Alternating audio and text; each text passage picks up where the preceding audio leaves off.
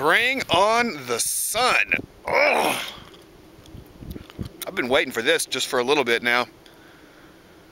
Uh, almost feel like I'm taking a nap here standing up. Woo! There it goes.